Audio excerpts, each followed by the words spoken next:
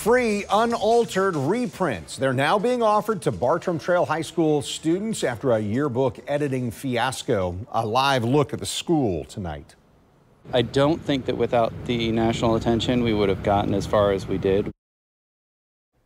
Dozens of female students' photos were altered to make them appear more modest. The change outraged parents and students, and now the photos are being changed back to the way they were on photo day. Yes. So the St. Johns County School District admitted the edits were a mistake.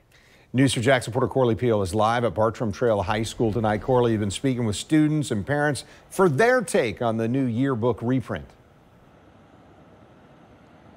The way this works is students at this school will return the yearbooks that they have now and exchange it for an unaltered one. But some parents I spoke with feel that they should be able to get a new book altogether without having to return the one they already have. 80 altered yearbook photos of female students are now being reprinted with the original photos. This comes after the Bartram Trail High School yearbook scandal made national headlines. Kevin O'Keefe's daughter, Riley, was one of the students whose portrait was altered. She helped bring attention to the dress code concerns. I think that it's great. I think that it's called out to a lot of uh, youth to be part of the, the movement.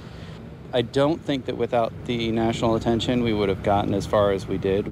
This email was sent to parents on Wednesday informing them about the reprints. According to the district, the company that printed the yearbooks, Herff Jones, is offering to pay for reprints. Students are required to return their current edited yearbook in order to receive a new unedited version for free. O'Keefe says the beauty product company Dove also made an offer to reprint without students having to return their current yearbooks. Dove's uh, offered to pay for all of the yearbooks to be reprinted unedited, and um, they've contacted the school and the board multiple times and been declined the offer to do that. The district says the Herff Jones offer made more sense since the company already has the school's files. I understand that they, they want to give the reprints. Um, I don't understand the handing the books back.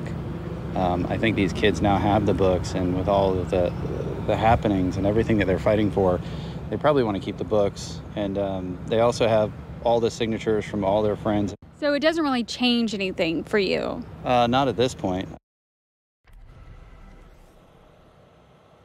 The school says those interested in a new copy can bring up their old copy here at the front office of the school by June 11th. They will then notify students once their new copy is ready. Parents tell me that they will have discussions about the student dress code during their first community meeting with school board members tomorrow.